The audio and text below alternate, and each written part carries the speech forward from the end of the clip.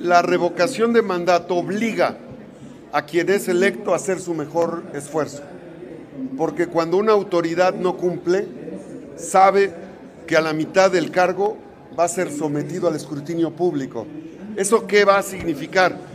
Que un gobernador, un senador que no se apegue a la responsabilidad que tiene, a la mitad del camino podría ser retirado del cargo. Perdón, menciona gobernador y senador, alcaldes. Los alcaldes tienen en su periodo tres años y, difícilmente se podría en año y medio eh, poder hacer este proceso.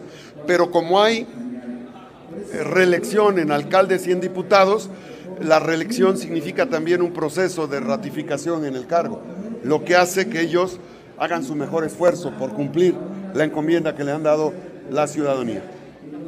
Dado caso de ser electo gobernador de Puebla, sería de los primeros que al comenzar el tercer año levantaría la mano para decir que usted se somete a la revocación.